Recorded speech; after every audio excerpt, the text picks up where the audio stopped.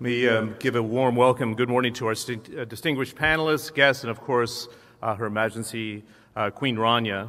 Uh, we are here at this plenary to advance what has been a vigorous debate about the youth bulge for the past decade into concrete ideas for action. So we'd like to walk out of this discussion in the next 90 minutes with some real concrete uh, ideas and practical examples from our panelists of what has worked in the region. Uh, there has been, if I can be candid this morning, a tendency to discuss solutions in the theoretical uh, and not the practical. And in, in a sense, it's created a distance between thought leaders here in venues such as the World Economic Forum and those who we're talking about this morning. Those are very isolated uh, in society, the regions and the world's youth. It's not just a challenge in the region, but most acute in the Middle East. Uh, in the reporting for my two CNN programs, uh, Global Exchange and Marketplace Middle East, we're homing in on the youth bulge in the region, and I've decided to describe it as the next perfect storm. Uh, we're in the midst of record birth rates that is often overlooked when having this discussion. We're coming out of, of course, the Arab Spring, triggered in part by a lack of opportunity, where expectations remain very, very high, but are rapidly being deflated, which is the danger. Uh, there's a civil war in Syria that continues to spill into countries large and small. Of course, we know the refugee crisis here in Syria, the challenge as well in Lebanon, and in part uh, for Turkey, although it's a much larger economy, but with huge strains on government and resources. As uh, His Majesty King Abdullah rightly underlined in his opening remarks, the region needs to double up action to deliver results. Uh, you have seen the numbers, but it's worth noting as we set the context of our discussion this morning. The International Labor Organization report out this month suggested the region is home to the worst youth unemployment in the world at 28.3 percent. And despite, and this is an unusual trend from previous economic cycles, despite a global economic recovery, will continue to rise through 2018 to 30 percent. That's very alarming uh, in a global economic recovery that we cannot create enough jobs to bring down the unemployment rate.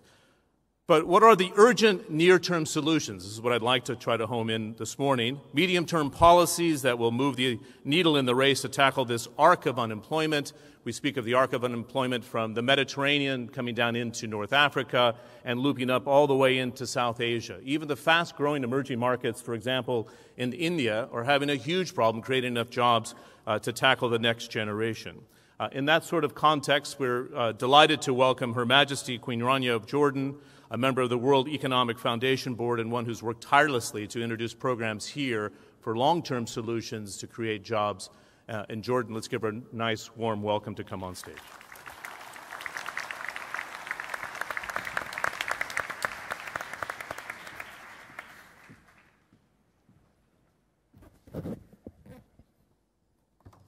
Thank you, John. And so, to summarize where we are in the Arab world, millions of people need millions of jobs. Generally, the people with the best education can't find the jobs they want. And the people with the least education find most jobs, albeit low quality ones. The, private, the majority of private sector employers are dissatisfied with graduate skills, and the majority of graduates are dissatisfied with the skills they've got. Too often, the teachers who educate our young people don't have the right skills or tools to do so, and the education young people receive is all but obsolete. Why am I beginning my remarks to you today with a conclusion?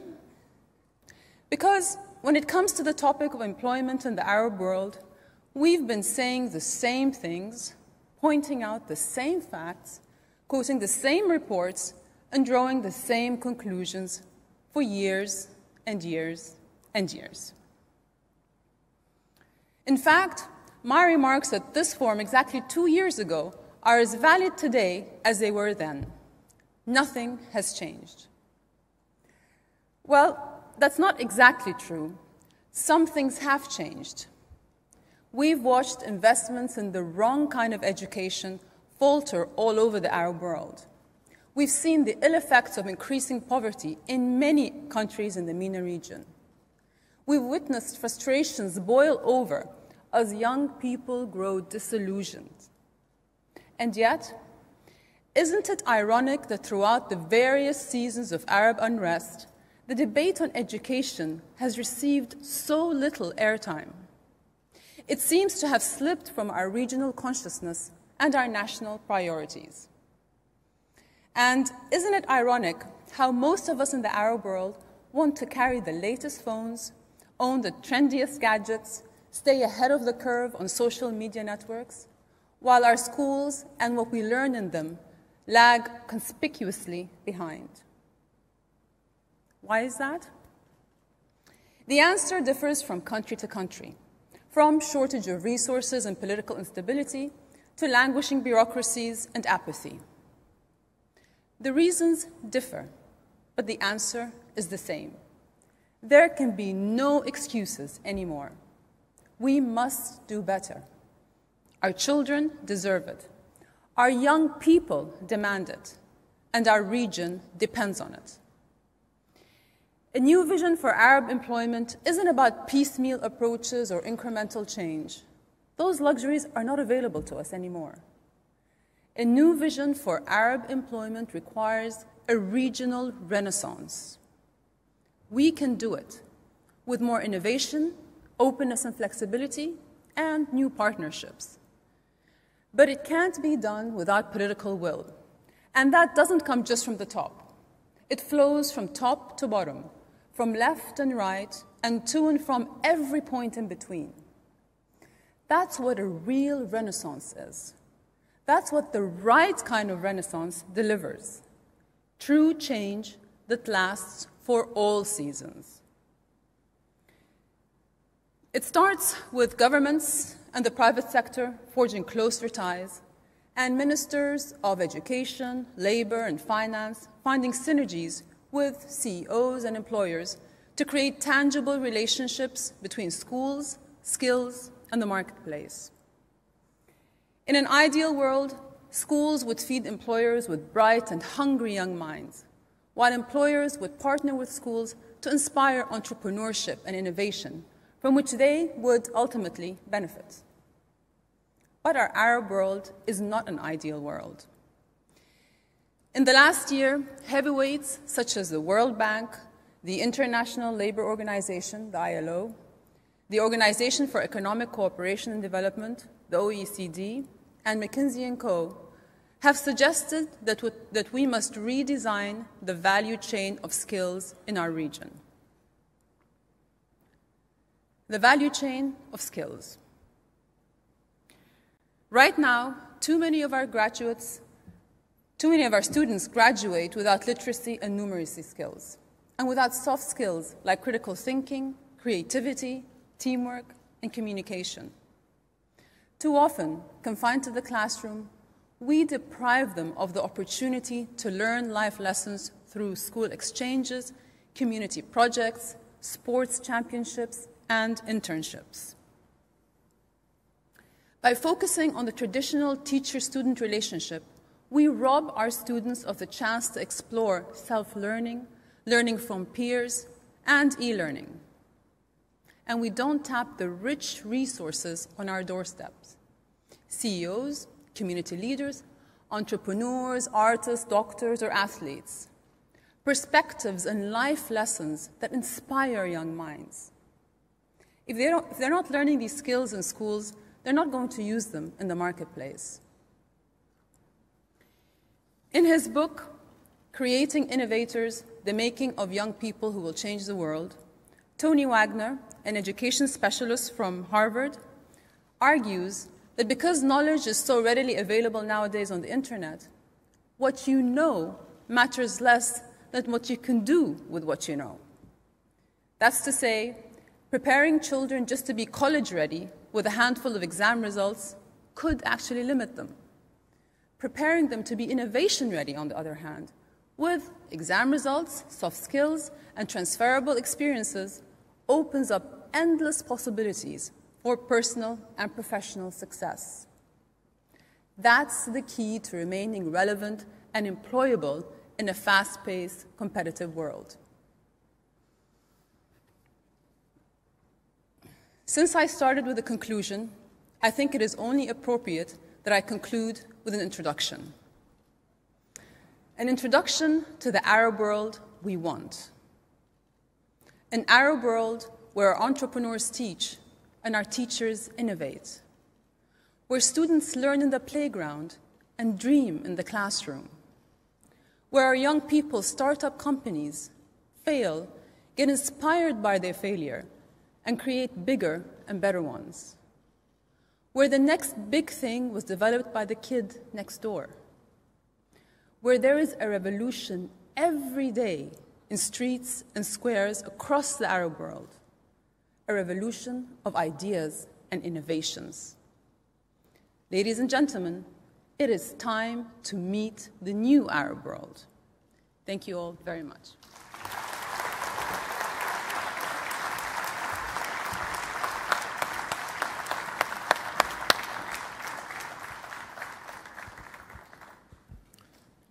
Your Majesty, thanks very much for the uh, setting the tone for our discussion. We have ample time because of the importance of the issue. We've got a full hour. I just want to remind those in the audience and those who are watching on the streaming broadcast here that we've set up uh, a Twitter address, a Facebook uh, question platform and board, which we've received questions already, uh, and an email address as well. Uh, feel free to have those coming in. I've got an iPad here, and, and I'll be peppering those in after the first uh, couple of rounds of questions. Of course, it wouldn't be uh, in the World Economic Forum spirit if we didn't open the uh, floor to questions. I see a number of familiar faces, uh, a number of chief executives that I'd like to call upon as well, who've uh, done their best to create jobs, but I want to discuss concretely again uh, the gap that we have today between what's needed in this expanding economy. This, again, is not in a contracting economy, uh, and this market. Her Majesty referred to it there as a changing Arab region. Uh, the magic's going to be when we can create a market the same size and population as America, better than 300 million people, to act like a single market, and we have cross border trade and investment uh, fostering as well. That trend, by the way, was emerging uh, before the Arab Spring. It's time to reignite it, of course, to address this issue of youth. Um, the panelists, you know, their names are on the board, so I don't want to spend time doing that. I'd like to call on Majid Jafar uh, initially here. And only in my, my first question, I want to take a look back because I know he's been working uh, very tirelessly to bring this to the forefront as the next generation of business leaders in, in the region to put youth unemployment right at the front uh, of the agenda here.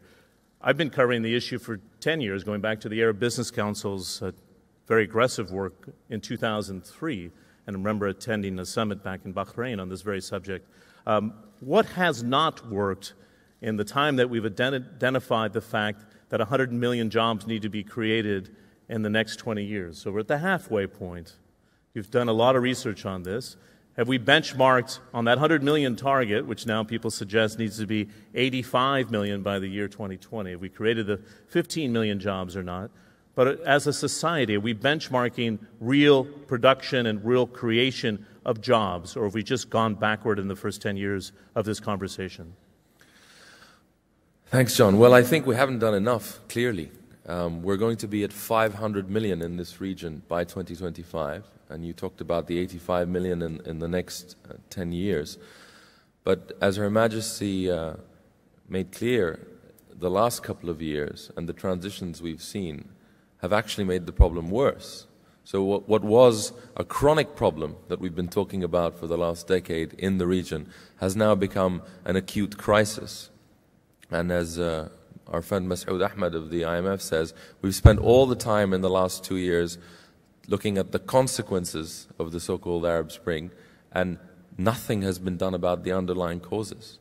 And all the polls that have been run in the region with young people show that that is the number one issue. It's jobs. It was and is even more so the case today.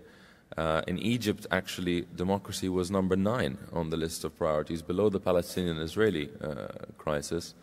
Uh, a latest poll that was done uh, by ASDA'A in Dubai that a good paying job is the number one thing that young people in this region want. It is the dignity.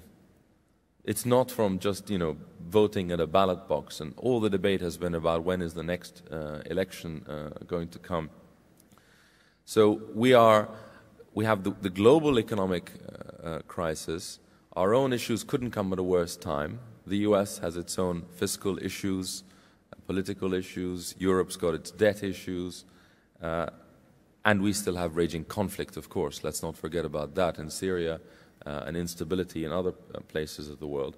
But we do still need to start looking at the underlying uh, causes. Failure to employ our youth is not just lower growth today, it threatens our tomorrow. Uh, and in our region, I think we still do suffer from the main causes of the youth unemployment the low growth, clogged labor markets, and a mismatch between education and work. Now, the high level statistics, we keep hearing them. Uh, as Her Majesty said, we've been hearing them again and again. So forget about the high level statistics. I can't imagine what 85 million people uh, is. Let's make it personal. You're 23 years old. You're living in a crowded apartment with your parents and many siblings. You could be in Cairo, you could be in Sana'a, you could be here in Amman. You haven't done anything productively since you finished education about three or even four years ago.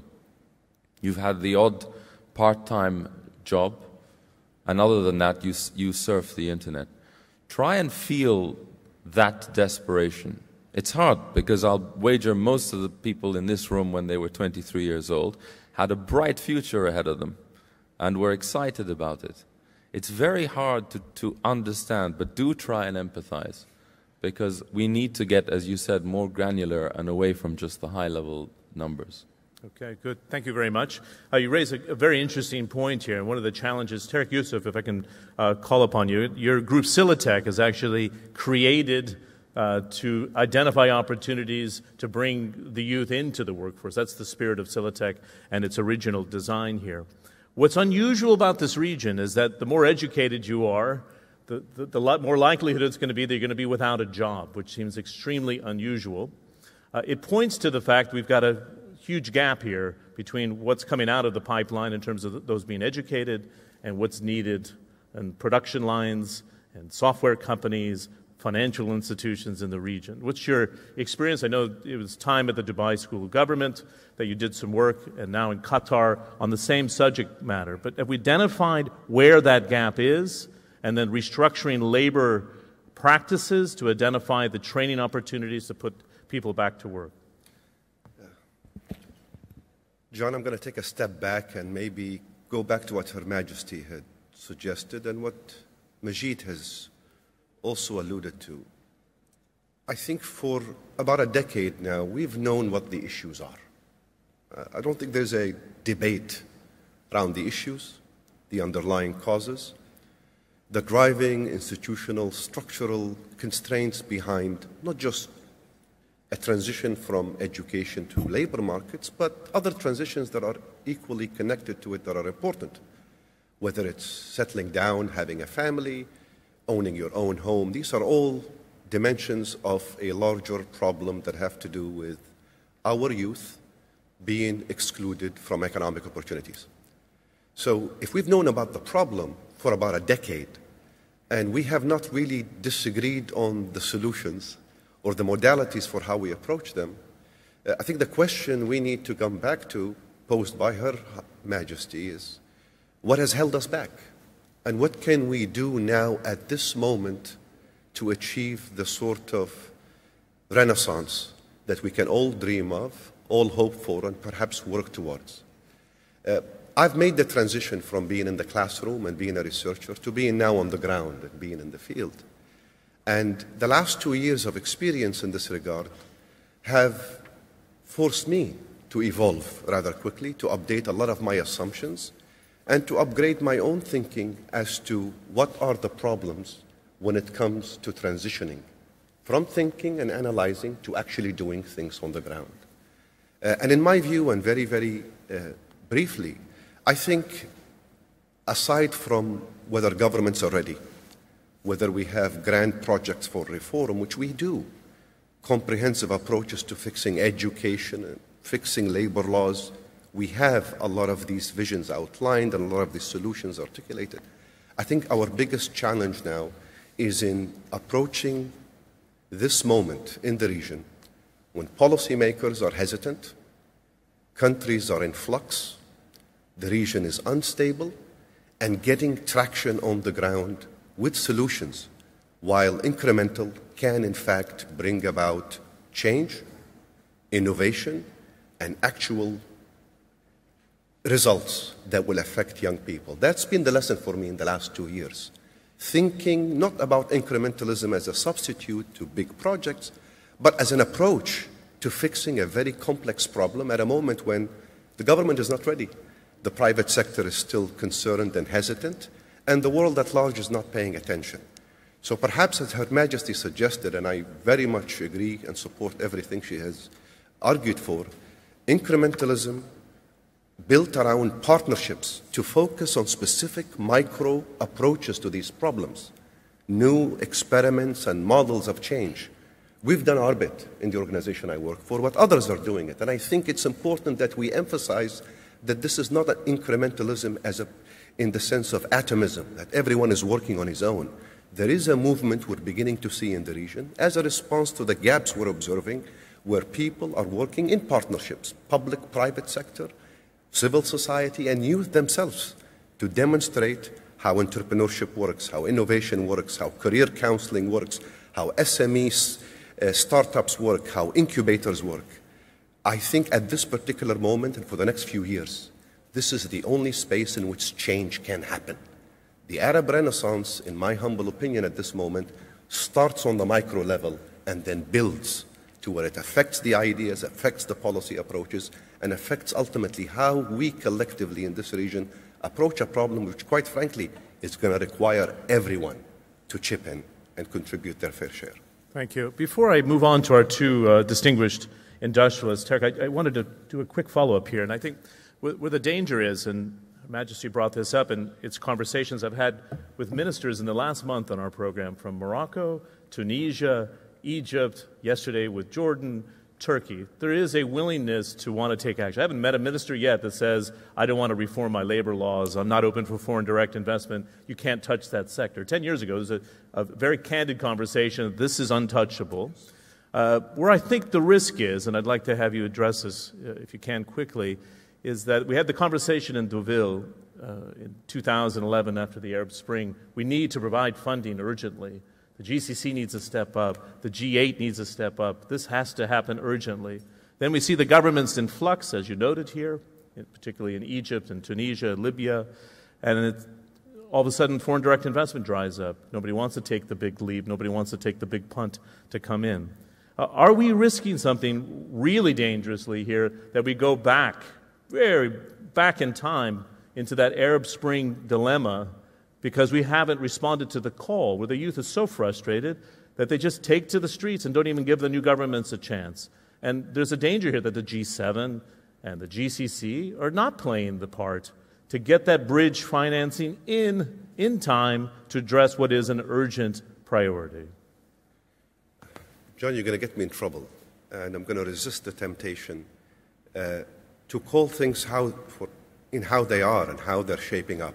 I don't think it will be a surprise to suggest that the world at large, including the GCC countries and many other neighbors to this region, have largely failed the Arab Spring.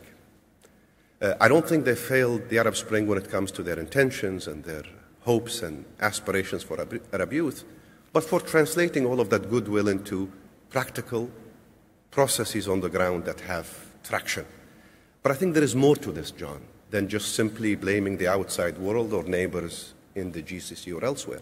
I think it's about the modalities of how you bring about change. Money alone is not sufficient to address problems that Her Majesty reminded us are institutional, are structural, they begin at home, they go to the classroom, they face you in labor markets, and they affect you culturally and at the mindset level.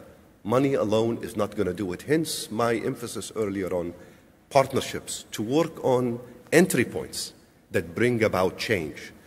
Uh, you know, I, I, know this might strike people as being very trivial, but I was shocked as I started traveling the region outside of the confines of my own office where I was abroad and discovered that a very, a, a very basic thing we take for granted elsewhere in the world, providing career counseling, uh, or labor market placement for our youth as they take the first step into labor markets is hardly provided anywhere in this region. Very few universities have made the effort. Very few labor markets or ministries have provided the information centers that would allow for simple entry points to start to happen. That's not a problem of funding. That's a problem of someone proposing how to approach it, working with the relevant ministry, working with the private sector to bring about tangible change. In the last two years, in most places I have been to, I have not found the resistance or the apprehension or the hesitance on the part of policymakers when actual practical solutions were provided.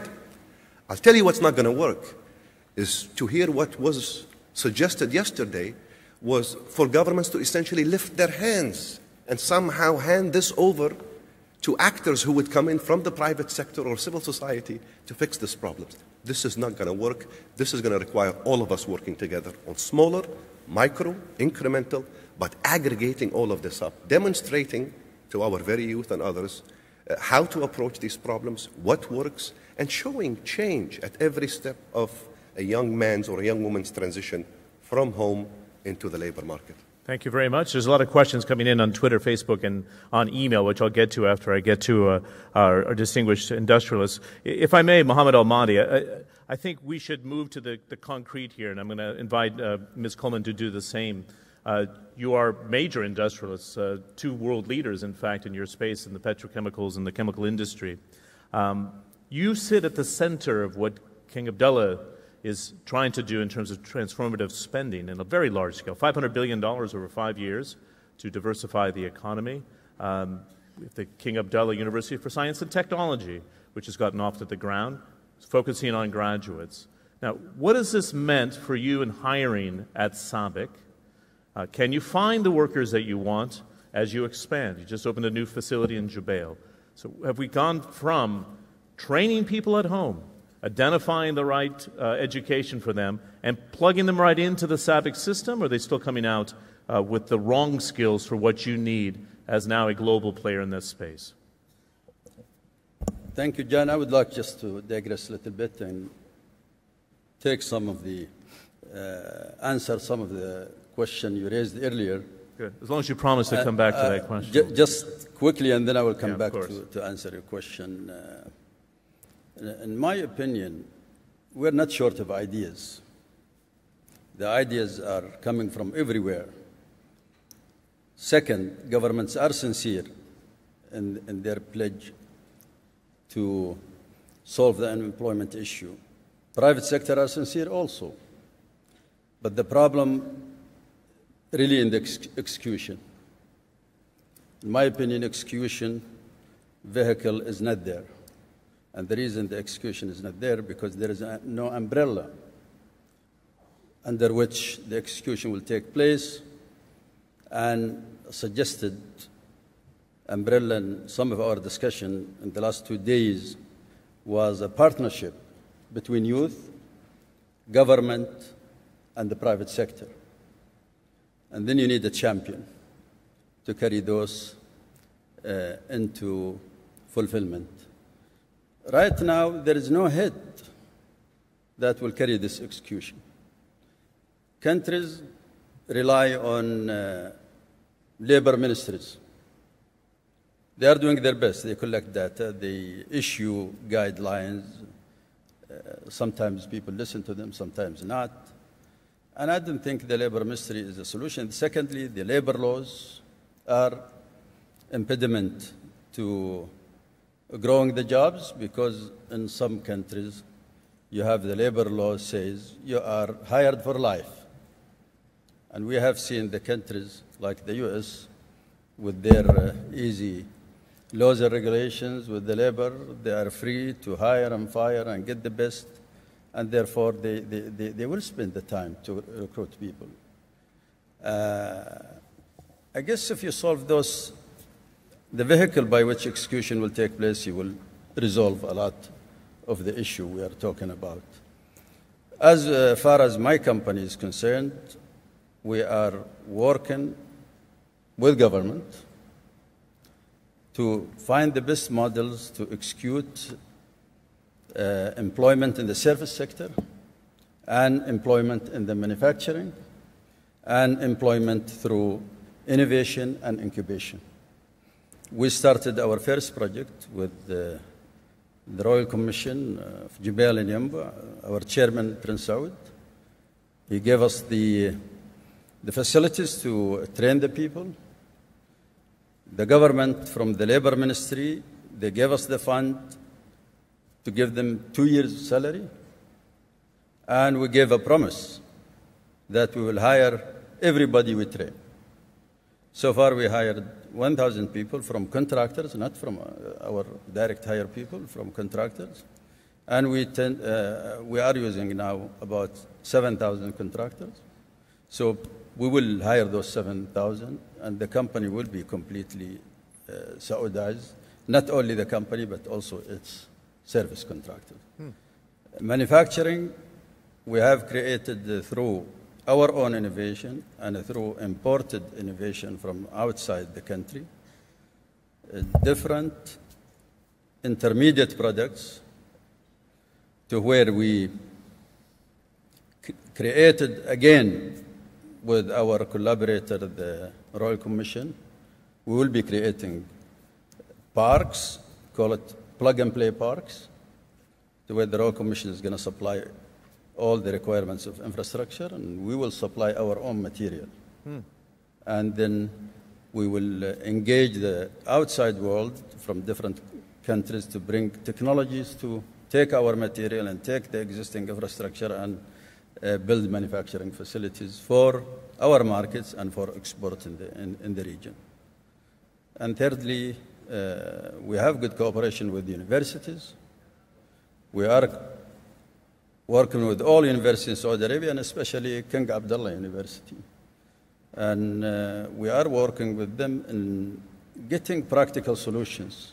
We, for example, we hired five assistant professors and uh, got them to work on certain uh, projects, and those certain projects will see them uh, in the incubation, and it will be uh, it will hire the people that are required to run these uh, projects, and we are going to assist them with money and with the people to assist them in the marketing or project management and what have you. Uh, lastly, we are sending people overseas. Our uh, 500 people we have so far, and all over the world to get educated, and we bring them back. So we have a pipeline of uh, uh, people who, who go and study in the prestigious university and come back and work for us. So I think uh, through these programs, we are expecting to at least hire 80,000 people. Wow. Yes. Interesting. Can me ask a very uh, blunt question? Good or bad idea, the Saudiization? Good or bad? Good or bad idea? It sets these quotas for local hires, whether they're ready or not. Uh, sorry to put you on the spot. I'm just Well, curious, well, we're- uh, I'm- we're going to a similar say- process in the UAE, and do you, you know, these programs sound phenomenal, by the way. I've read a lot about it, so nobody's going to argue about what you're doing. But it's been stamped with it has to be Saudi hires. This is the quota for a company, whether that person works or not. And come hell or high water, that has to happen because of the pressures underway. Well, I it a good uh, idea to implement it so fast? There, there, there is pressure, of course, and they are going for quick wins. The quick wins is to go after uh, certain category of people and say, you know, you have to be in this range or that range, and uh, and uh, when when they say it doesn't work, they uh, adjust. So, but there is nothing better than really working together with government and the youth, in my opinion. Ca- uh, government cannot sol- solve it alone. So you think the public private partnership is actually working? Yes. Okay, before I come to Ellen, I want to ask a question though. Why is the youth unemployment rate so high in Saudi Arabia? Just as an example, you're not alone in this space, mm-hmm. but it's around 28%. For a government that's spending a half a trillion dollars over a five year window. So are we just behind the curve? And what you're doing now with companies like Saudi Aramco and the others that are coming into the market will help solve this problem? I'm trying to see if there's, there's light at the end of the tunnel, Mohamed, and that's why I'm asking this question. We're, are you just behind the curve, and this problem will make a big dent in that 85 million that Majid was talking about? Well, like Her Majesty mentioned, you know, it's uh, education. There is mismatch between the job market requirement and what the universities uh, provide. It's beginning to change. It's beginning to change, and we are hopeful that. But it, it's a slow change. It's going to take maybe 10 years before we can adjust this uh, mismatch. And secondly, uh, there is uh, an open uh, floodgate of foreigners coming to the country, and they are cheaper and they are uh, very patient with their employer, and uh, and therefore uh, people, you know, uh, don't look at this as as as, as very important themselves. So you So- need to keep that balance. So you need that work- balance Okay. to, uh, you know, the mismatch and this uh, foreign labor coming from outside to be adjusted to really solve the situation. Great. Thanks very much. I mean, we've all watched the work of SABIC in the last five years and what it's developed, so I want to come back to you on that. Ellen, I, I appreciate your patience. Um, we wanted to, to listen to the local insight uh, before we called upon you.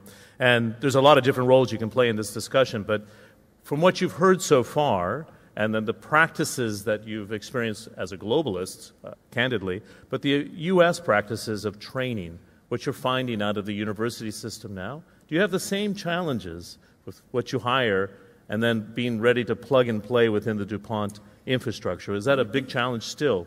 Yeah, you know, I think that when you look at education, and I'm listening to the issues, and in my meetings here, it's very similar to the same issues we face in the United States. You know, the unemployment numbers may be different. We topped out at about 12 percent. Uh, now we're down to around seven and change percent unemployment in the U.S., and it's worse for younger, lesser trained individuals. And part of the issue is, I believe, it, there's a change has to occur not only for the current generation of unemployed, but the problem's going to persist unless we make fundamental changes in education starting at the very earliest stages and really introducing um, the world our children are growing up in is different than the curriculum that they are getting in schools today, especially around science. And they are not prepared in terms of uh, the changes in the workplace that have occurred in the last 10 years. For instance, the soft skills that Her Majesty spoke about, teamwork, collaboration, are critical skills for us when we hire. And we tend to be training in the soft skills a lot more so than we um, anticipated. We expected the education system to keep up. It has not. We talk very uh, clearly, we feel we're the customer of the universities and the countries we operate in, and we speak very clearly about what we need in that product, not only from a uh, uh, education, curriculum, knowledge standpoint, but from the behaviors that are critical for these kids to be successful um, in a company. It's understanding uh, different cultures, it's understanding how to work together across boundaries. Because work is done at the boundaries these days, it's not done in stovepipes. And so the education system from the very earliest stages has to change so that the 10 years from now or 15 years from now, you're getting kids that are much better prepared. But there have to be programs in the interim that you don't, so you don't have a lost generation or two. We're reaching out to community colleges as a system in the U.S. that takes a lot of the young that aren't really qualified for four-year education, and they teach them in more vocational type of skills. We've had to partner with them to get operators and technicians for our plants and for our laboratories because we can't find them. We had a plant in Texas that had um, 22 openings. We had 900 people apply and 16 had the skills.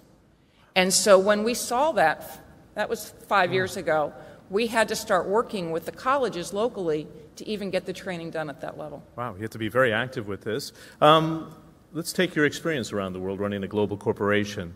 What is working today? Now, we've talked about the German vocational system working very well. We've seen uh, systems within the Nordic countries actually taking two years, personalized training matching the individual to a job that's potentially uh, in the marketplace. These are two examples of things that work. Singapore is fabled for its training systems and matching what's needed in the system to what the demands are for companies around the world. Some of the training programs, for example, you've seen in the States. What do you like about the two tiered system of high end engineering and science and the right vocational training for those who are not going to go on to university, if that's a choice? You know, I do think it, it is in segmentation, and some of the best programs I've seen have really started working with kids about the age of 14 to really understand what their strengths are, what their uh, development gaps are, and really starting to talk to them at that point in time about what they want to do as they complete their education and get in the workforce.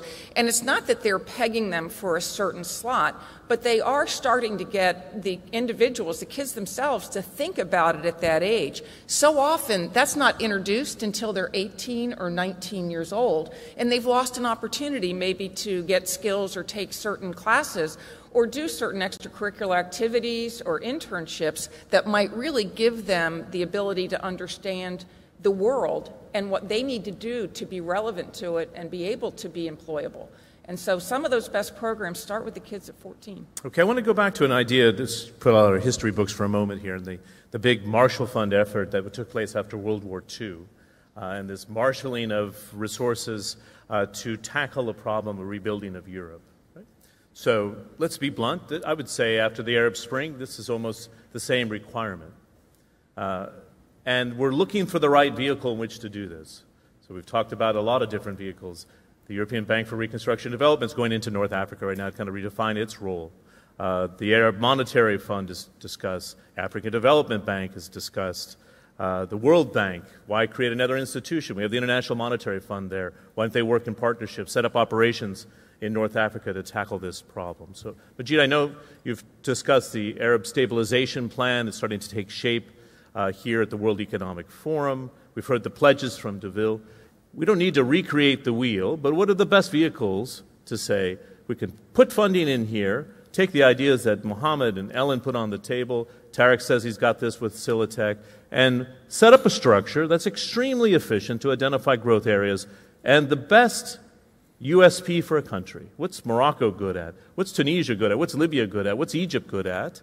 apply that funding in a very direct way uh, so we can move forward out of the theoretical into the practical? Thanks, John. Well, looking back at, at the historical example you gave, the US did what it did in post war Europe with a political objective, which was to stop the spread of communism. Likewise, here in this region, regardless of what people think about Islamist politics or democracy or the changes that are taking place, everybody can agree that extremism and instability are our common enemy, and that the youth unemployment crisis is a major driver of that. Now, through the Arab Stabilization Plan, what we've been trying to do is focus on the infrastructure space, which is one of the key themes of, of this summit as well. This region, according to the World Bank, needs 75 to 100 billion dollars a year of infrastructure spending.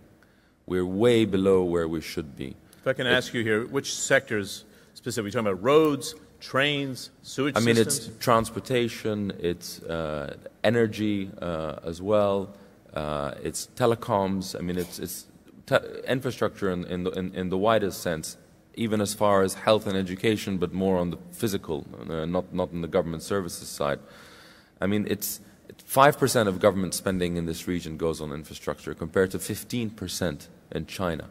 And infrastructure, um, I was hearing from the IFC yesterday, infrastructure spending in China is the biggest driver behind their growth. They have a fearless government that just invests regardless of what's going on in the rest of the world.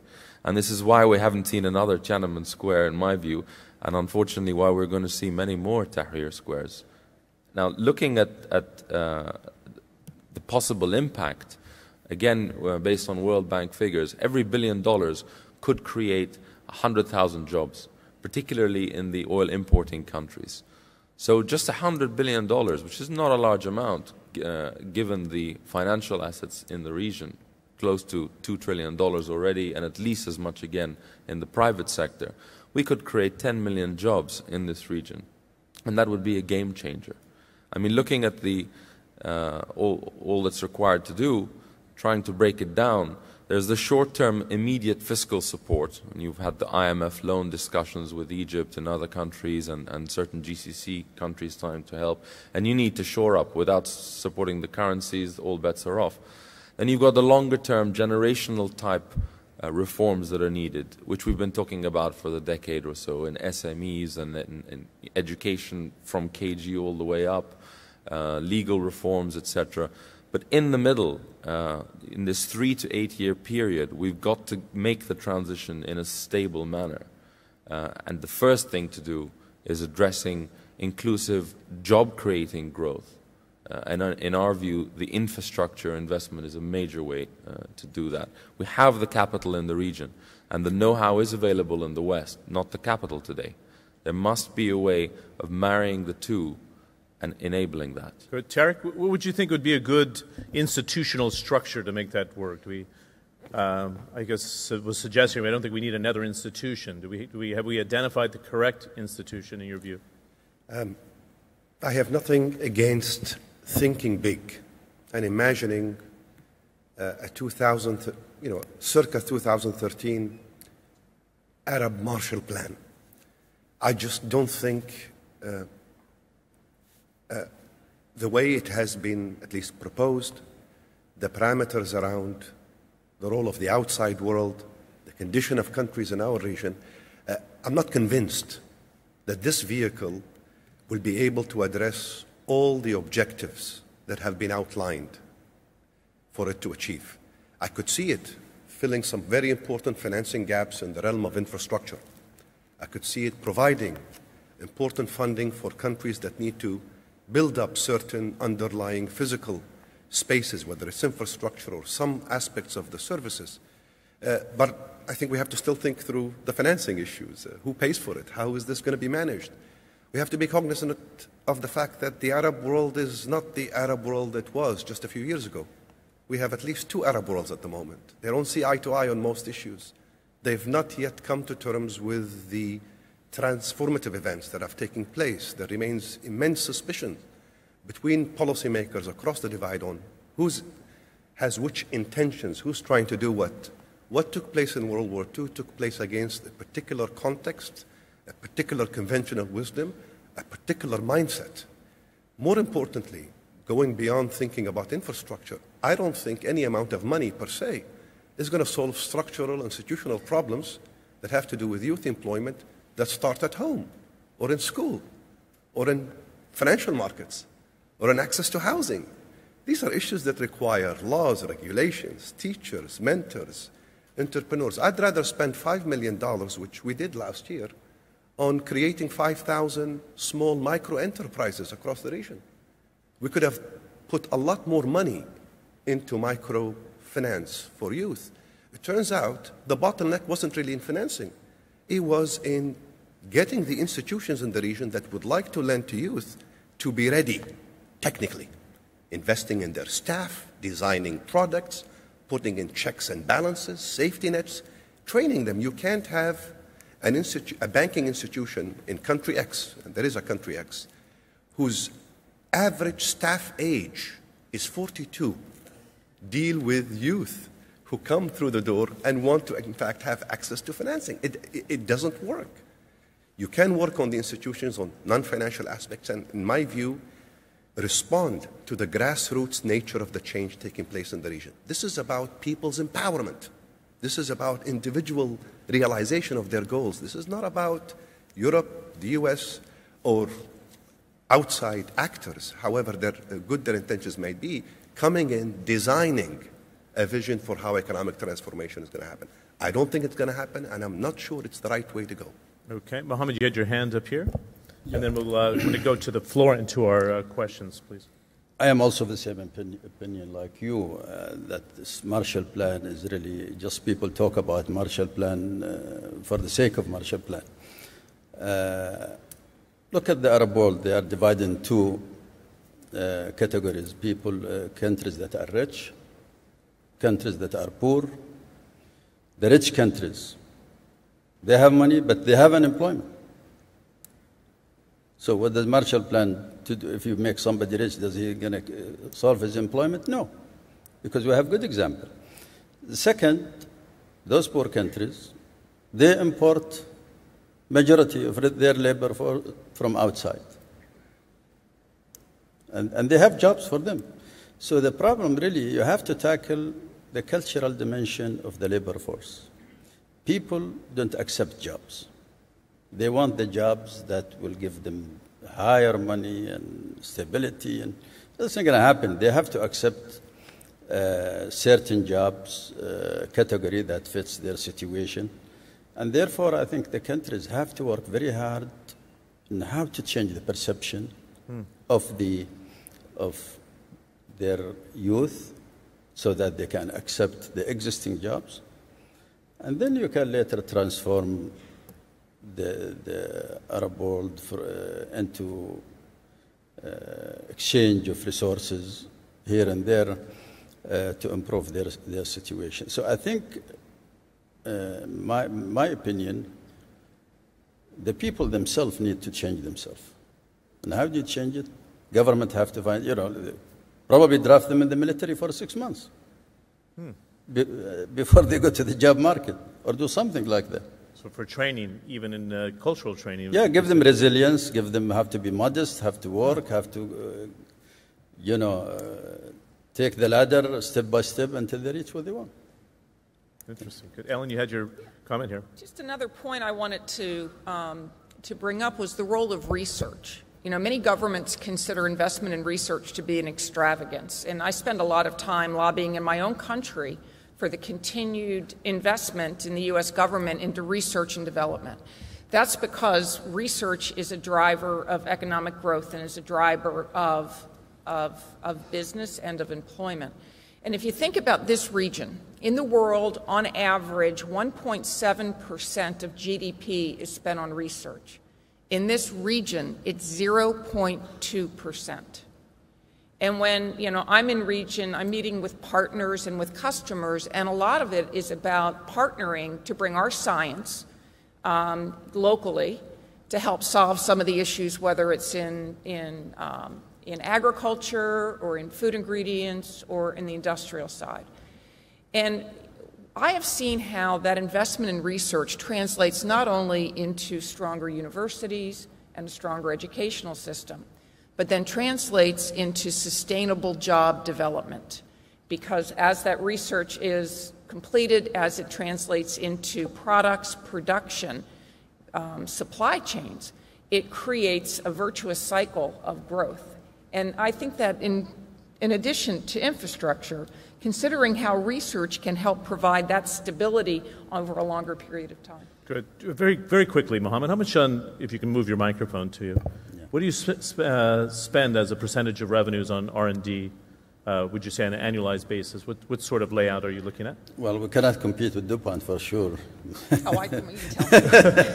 Looks like you're doing a pretty damn good job in the region. From what I can see, I don't think you're lagging. You know, we, we are uh, we started like a basic petrochemical company, so now we are going to more sophisticated products. So our spending is less than 1%. One, what are you at? We're at 5. At 5. So that's a good example. But you're, you're not stopping at 1%, I would take no, it, by looking at what you're doing. We'll continue. Okay. I want to uh, bring a question, some phenomenal questions coming in on the, uh, on the feeds here. Let me see if I can spotlight. I'm kind of a little bit too old school, but I think I'll play the game a little bit. There we go. Um, this is from Badria Hulia, and this is for Ellen. Uh, how are we going to empower young women so that they can claim working woman identity besides potential mom identity? I'm not sure which country that's from, but I'm sure it's a, a local tweet. Well, I mean, that's a global uh, phenomena in terms of How women. do you balance the two? You How do you balance? There is no balance in life, is there? uh, especially if you have three children, and as which I have. Um, but you know, I tell you, I, my my business, my company is a passion. Uh, my family's my passion as well, and so somehow you, you make it work out. I, I think more importantly, um, what I didn't realize is I, um, in the workforce, is what great role models um, women are for our young women. Um, they look to uh, the engineers, my women engineers, or my women that are in finance. Um, and they're great role models, and we spend time out in schools. I personally go out to some of the inner city schools in, in the city where I live uh, and talk to 14 year olds around what they want to do. And I think, you know, I think as a, um, as a woman, as an engineer, and as a, um, the CEO of a company, I just really feel it's part of my role to help in that process of continuing that development of women. A, a candid American question. Were you ever called a geek when you were an engineer? Oh, totally. There weren't many women engineers when I graduated, I can tell you that. Can I step in on, on that, John? Because good. I think it, you know, Ellen is an inspiring uh, role model uh, on a, on a global level. But unfortunately, in this region, we don't have that many. I can't think of one uh, corporate CEO who's not in a family business uh, who is a woman in this region, um, or even of a national uh, company, a government uh, co- company. Uh, and the youth unemployment is over 40% on average for, for women in this region. So, a recent uh, World Bank, very good World Bank report that just came out. I mean, there is improvement, but it's so slow as far as participation that they said it would take 150 years for the MENA region to catch up with global averages, not even Western or developed economies, just global averages of female participation in the workforce. And that's just that's not just a uh, you know a good a good uh, policy. That's a fundamental economic and social issue. If we're not educating and enabling proper participation of our female population, we are cursing the education of the next generation because they are the mothers. We will never make real inroads on birth rates, which are the main driver behind the youth quake that we're facing today uh, in this region. And we're stunting our growth. This is a wake up call. We've got to do more on female participation. And it does start culturally, but also on the policy side. Good. I, my time I spent in Saudi Arabia, thanks. I think we've answered that question, which is good. Uh, it's amazing. The women can't drive in Saudi Arabia, but they're really good at their jobs, all the ones I've interfaced with. So there's, step by step, things have been opening up in the, in the kingdom. Uh, Sheikh Moza has been a phenomenal example in terms of setting up education. Qatar, we've seen the work of Her Majesty here in Jordan. Sheikh Lubna Al Qasimi, who's attending here, all pretty good role models for what could be done uh, in the region. Another question here, then I'm going to go to the floor. Let me see if I can call it up. A very uh, excellent question. Let me see if I can bring in the spotlight if it's there. Um, could Arab youth unemployment be solved by economic integration and cross border movement of labor between Arab countries? This is from Bashir uh, Salatai. Um, this is a subject we've talked about a lot. uh, potential market of 350 million consumers. Majid said it's going to grow to half a billion uh, in our near term uh, frame. Borders still exist, it seems like. Mohamed, do you, you would agree? We don't create like an emerging market uh, that other outside investors would like to come into.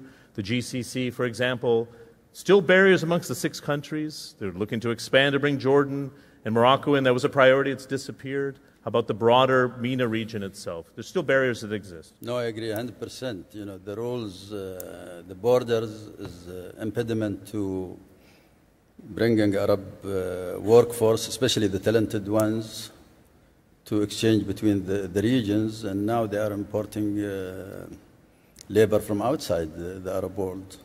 So I think by relaxing the movement of trade and then at a later stage, the movement of labor force, I think it's going to have a very good contribution to solving this issue. Good. Are they moving fast enough, though? Or the, if I can be a candidate here, because I now live in the region, are the trading families in each one of these countries that I've talked about mm. holding back an openness that should be taking place? It's almost a Qatar, Qatar cartel-like structure that's still in place, with the large trading families controlling a disproportionate amount of an economy. Yeah, it's now changing. For example, in the GCC countries, uh, there is movement of trade, there is exchange of uh, labor force between Saudis going to other GCC countries and working. So I think if it could happen in North Africa and, uh, and here in this region, it, it, it will eventually uh, come together. Okay. If we could turn the lights up, please, and we have the wireless microphones. Uh, if I can see those microphones please. And we'll move rather quickly. Uh, Dr. Issis is in the first row, and we have the lady there in the third row. If you can put your hand up again. We have another microphone, please. Uh, in that second row there. Perfect. We had a hand up here. Reem is here in the first row as well. If we have a third microphone, let's bring it to here. We can move it really quickly. Dr. Ali if you can direct it to those on the panel as well, I'd be appreciative. Sure. Thank you, John. Um, Mohammed Al I'm a professor at the American University in Cairo. There is an exciting new development happening in education. The barriers to entry are being dropped. Uh, initiatives such as EDX that Harvard and MIT are doing. Uh, a student at, in, in, Amman or Cairo can attend uh, Harvard class with the best professor. Is it time we stop pumping billions into a draconian, failing education system and start, what Tara exactly said, empowering the next step after the learning, as Her Majesty alluded, into actually applying? How can we do that? How can we do that on a micro level? How can we do that effectively? We're starting to take steps in that direction, Mohammed. I'm getting excited about the potential for education to be provided at a quality level through these so called MOOCs, a lot of online education that's provided for free on the same quality as you would get at the best institutions. But some work has to be done in adapting this to our region. In some cases, translation can be provided. In other cases, there are elements of guidance and counseling that has to be. This is one practical example of how you can work with the Ministry of Education or some schools to adapt such curriculum as an add on to existing curriculum, with the goal ultimately of lowering uh, all the spending that goes into wasteful education programs. But I think the lesson in what you've suggested is precisely what I was trying to allude to earlier. It is think, when I mean thinking outside the box is not bringing the same old policies and somehow just adding incremental changes uh, on how they're provided and hoping that, in fact, the results will somehow be amplified. Uh, it's about maybe improving existing processes, but also thinking innovatively about how you can do the same thing and do it differently. Let me just highlight this with one concrete example, again, because it uses technology. This was education. Uh, this is an example from the world of access to finance. We invested a year ago, us and a number of colleagues, into a peer to peer lending platform called Kiva. So there's a Kiva Arab World channel that provides microloans to youth in the region. I, th- I thought this was a crazy idea when it was first presented to me.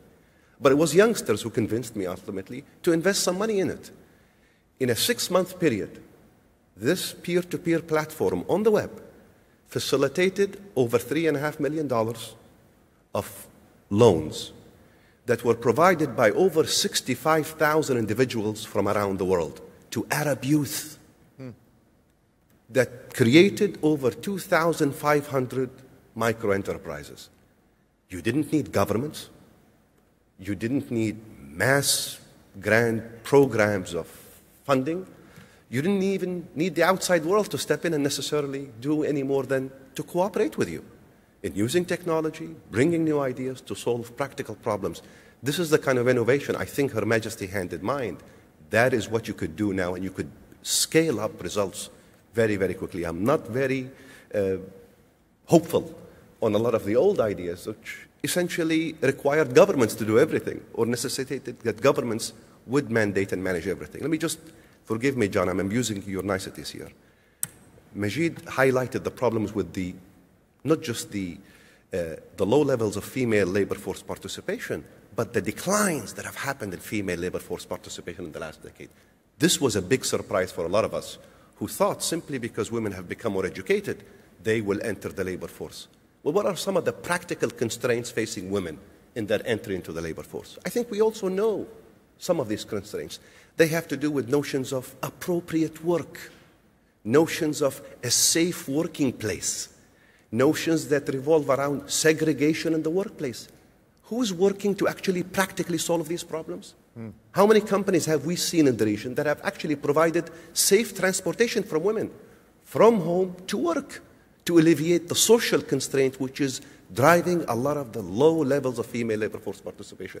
And finally, Saudi Arabia, one of the most conservative countries when it comes to women's labor force empowerment, indeed. But there is a movement now in Saudi Arabia to empower women to work from home. Movement that is getting support from government, from the Ministry of Labor, and from entrepreneurs. Maybe by restoring the dignity of work from home, we could also help empower our women as they face social constraints in entering the marketplace. This is the innovation that I think the Arab world needs now. Great. Not a lot of the old ideas. Got a lot of good questions here on the floor uh, on the on the iPad. So let's see if we can go through the questions on the floor quickly. Please identify yourself and direct the question. Mahal Fahom, Managing Director of Invest Suisse. Uh, there are a lot of initiatives that uh, are available, but the problem Excuse me for is a second. Invest Swiss, you Invest said. Suisse, Okay, good. Lots of ini initiatives worldwide, but the, the problem is that youth are not aware and they don't know about it. There are institutions that provide training, like Abdul Latif Jameel, like SABIC. There are uh, institutions that provide coaching. There are institutions that provide len- lending and financing, uh, fi- financing. The problem is, for example, uh, youth do not have access so to this information, and information is power. So what we need is a portal, a unified portal, whereby youth, when they need coach, when they need to know about uh, scholarships, for example, I would want, want to pinpoint that uh, Melinda and Bill Gates Foundation, they have a, a, a website whereby they offer mathematics and physics uh, courses, okay, free of charge for, for students. So we can also do training.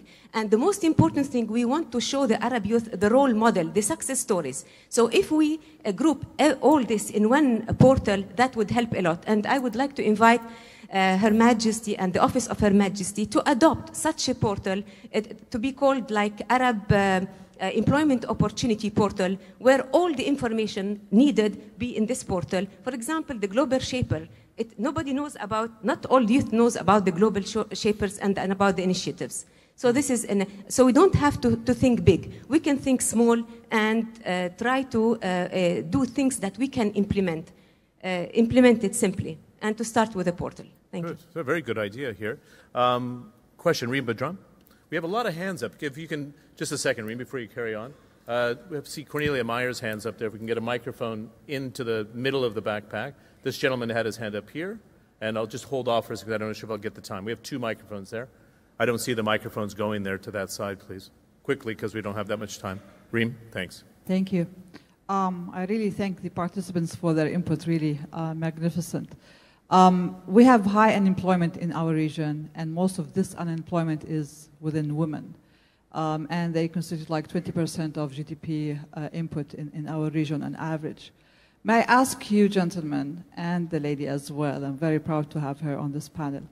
Um, practically speaking, in your companies, how many women are there? How many women on your boards? And what are you doing about this? And let's be practical about this issue. Thank you. Who wants to jump in? Majid, do you have women on your board yet? Yeah, I'm from the oil and gas sector. We're more male dominated than the military, I'm afraid. Uh, but we do have uh, have women uh, in in the company, and actually uh, uh, Dana Gas on the board as well.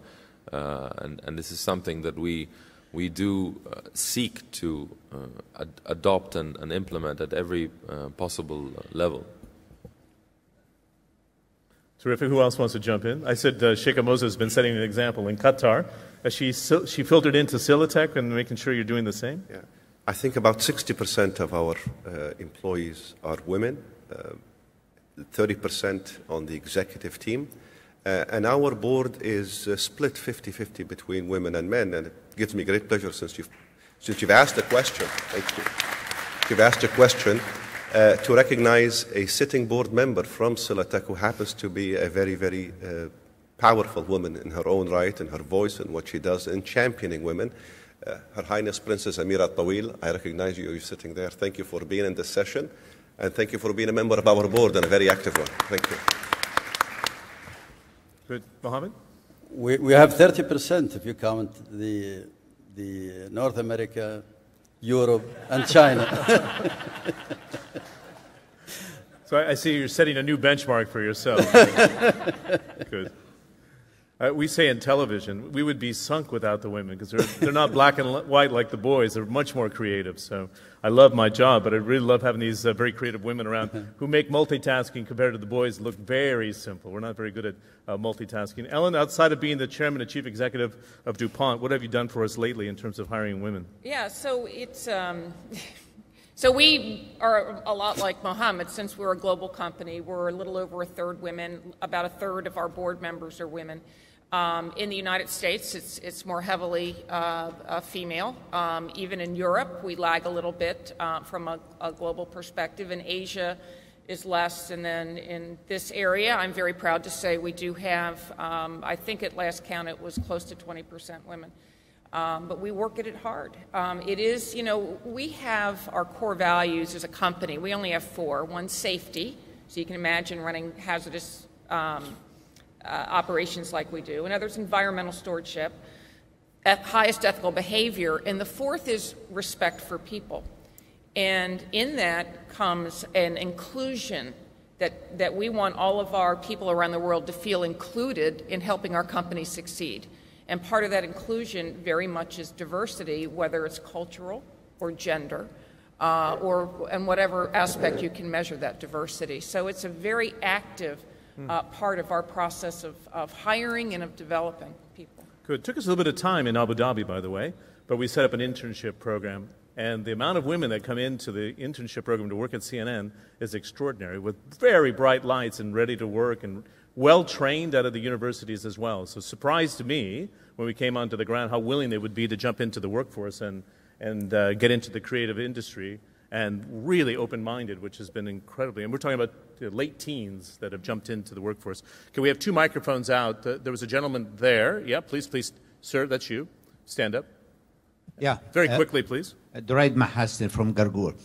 The, there is a misinterpretation actually about the Marshall Plan. The Marshall Plan is not only the transfer of funds, it's definitely the transfer of principle associated human rights, women rights, transparency, and allowing the youth the right to speak out and to dictate themselves the policy for their, uh, for their future.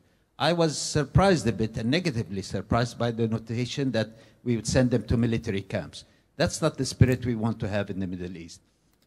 We want definitely to close the gap between the rich and the poor so that we live in a region that is accepted by all religions as well as by globalization. Thank you. Thank you. Can I uh, John, can I just sure, very quickly? Yeah, yeah, of course. On the military uh, camps, uh, although that is a Marshall Plan of a different spelling, um, but I actually do want to build on that because one thing Tarik raised, uh, I heard uh, in Dubai recently on a panel, not about military service, but some sort of civic service. I mean, there, there's, there's a similar scheme in the US, which was uh, revitalized after the economic crisis, where there's a kind of national service across the region. It could be as short as six months, Mr. Muhammad mentioned yesterday, where they get the basic skills. It's too late to try and, you know, reforming of education will take a generation from KG up, but at least to help those get into the workplace an online and, and, technology and a portal could be a good facilitator. But the basic skills of, you know, how to apply for a job, how to be on the job, uh, uh, you know, communication skills, the things which employers want, because we have a lot of degrees in the region, not enough skills. Employability uh, is, is the thing we need to be targeting. So, not military for sure, we don't need uh, more of that, but some sort of service program. Um, I'd, I'd, love Tarik to come in here on I that. I agree fully with you. It turns out, in fact, that a lot of our countries have national service. It just happens to be a dead weight period in an individual's young life. Huh. You go and waste two years and get very little out of it. If you could modernize this national service to do precisely the things Majid had alerted uh, us all to teamwork, discipline, efficiency, communication skills these are mandatory periods that a young person spends of his lifetime, uh, which can, in fact, become a stepping stone into becoming a more employable individual. Okay, we're right up against our time here. I did have two microphones, uh, Cornelia Meyer and um, uh, Princess Mira as well, and then we'll have to call it a day. Please, there. Do we have the microphone? Thank you. Uh, Mina, I just said they right behind you, please, if you don't mind. Thanks. And th- we have a microphone here in the second row as well. Thanks. Sorry about that. Thank you. Thank you very much. Thank you for an excellent panel. I'd like to go back to sort of the, the enabling um, infrastructure for um, creating employment, which is the legal infrastructure, creating the, um, creating the um, level playing field. And I think there is a lot that the local governments can do in terms of getting things going such as good bankruptcy laws so you can start the business and but you can also fail with grace without going to jail. That's very important because we need entrepreneurs if we want to employ all these people. Um, i think that's a, a, a very crucial um, part. Great. Uh, ellen it would be good to get a, a very quick comment. Uh, as a foreign direct investor i've always suggested this in our coverage that you look at probably five key things right? Labor laws the rule of law, an open press, uh, democracy, the ability to vote, women's rights. But where does the legal framework land on that checklist for you as before you allocate money to a no, country? It's, you know, it's very important because it, it actually um, translates into a lot of different effects in the country. Uh, you know, for instance, corruption, things like that. So if you have a strong legal framework, a strong rule of law, where the rules are clear, you know, it, it, it almost doesn't matter what the rules are but it really matters that the rules are clear because then you can make your decisions uh, on an informed basis, um, and that is absolutely critical to our uh, decisions on investment. Great. I was wondering how we were going to get through an hour and 15 minutes, and now we're running out of time. There's all these great questions here, Princess Amir, if you want to interject, please. Thanks. Um, I have a question, um, which is for Mohammed representing SABIC. Uh, in Saudi uh, Arabia, women represent 85% of unemployment. Now, SABIC hasn't opened doors for women yet to be employed in Saudi Arabia, uh, whereby Aramco, a successful example of employing women, uh, has done so. And my question is, why haven't you opened the door yet, and why the delay? Thank you. First of all, it's, not true that we have not opened the door. We, we hired more than 50 women so far in the process. Yes, uh, Sorry, but I mean, just how many do you employ in the country? 50. No, no, but it, in total, I'm sorry. How many employees do you have in Saudi Arabia? Uh, employees, we have about 20,000 Saudis. Yeah. Okay. Yeah. You're coming, I know. Yeah. No, no, You're coming. No, you have to start somewhere. No, just I be mean, candid. You're, I'm not criticizing. I'm just asking. Listen, we, are, we, we, we, have been slow for sure. Uh, and that was not really uh, by design that we, we want to be against women I think, but we want to get the best practice done in Saudi Arabia because there are many mistakes that has happened. And it really gave bad names for uh, the employees and for the employers. And now we are in a, in a position really to get the best practice and, and, and, and do it in our uh, company. And, and you will see a big change. Thank you. Great, thanks. Um, I can't take any more questions because we run up against time, but we had some, uh, a lot of input coming from online. One of them I thought was a very interesting question. It says, uh, why should we use public-private partnerships? It sounds very good in theory, but they don't work. Your two examples where PPPs work, right? You use them with education. You've used them clearly. You'd be a big supporter of a public-private partnership. You're doing them in Saudi Arabia. Yes. Is there a problem with them, or do you think they work? No, there is no problem. It's working, and we have a good partnership with with government, and it's it's really uh, we are engaging them all the time, and and and taking one projects uh, together. Good. Ellen? Yeah, I think they're essential. Um, I think they have to be set up with great clarity on what the goal is. And I think if you're aligned around what you're trying to get done, then they can be very successful. There's a final question from Manir uh, Atalia, and I won't put it up because we have tight on time. How can we solve decades old problems with decades old regimes? Well, I think in the last few years we've realized that uh, some regimes don't last. Uh, there's a lot of regimes that have been there in place. Do they need to be responsible, held accountable, is the big question. Uh, that's the, not a very simple question to Tarik Yousef, but I'm going to use it as our, our final thought here. Uh, I think accountability in this sort of 21st century uh, is not a question anymore, right? I don't think it's a question, John, and just go back to where we started off with uh, Her Majesty's own remarks on notwithstanding the urgency, the consensus around the need for change, the Arab world over the last 15 years has wasted tremendous opportunities to bring about organic change, self driven change, especially led by governments. I think from that perspective of policy and change, one could understand why the transformations in Egypt, Tunisia, Libya, and Yemen had to happen. They had to open up and create an opportunity for policymakers to, in fact, bring about change by forcing accountability, by forcing regime change in some cases, and by opening up the political space to greater contestation. I think that is the biggest message, perhaps from a policy perspective, emanating out of the Arab Spring one of accountability, transparency. Yes, it means a lot of chaos, a lot of confusion, a lot of muddling through in the short term, but it makes these regimes incredibly accountable to the public at every step of the way. And maybe that is one important gain from the transformation that has engulfed some of these countries. Okay, thank you very much. I wanted to thank uh, Queen uh, Rania, who's, uh, as a member of the Foundation Board, has put this uh, and kept it on the agenda of the World Economic Forum. I'd like to think we're doing our part. Uh, in fact, at 6 o'clock tonight, we have a special report on the youth bulge and some of the challenges in the post Arab Spring economies and managing change. It'll also be on Marketplace Middle East. That's our special coverage next weekend, Friday, Saturday, Sunday. Uh, on the very same subject, taking a lot of content from here. Uh, a great round of applause for the questions that came in, questions from the floor, and the uh, questions from our panels. Thanks very much. Can I say in my final thoughts here, a much more constructive discussion than we had two years ago. Much more practical. I see solutions coming forward. They're not theoretical, they're actually uh, action oriented, which is a real pleasure. Thanks again for your time.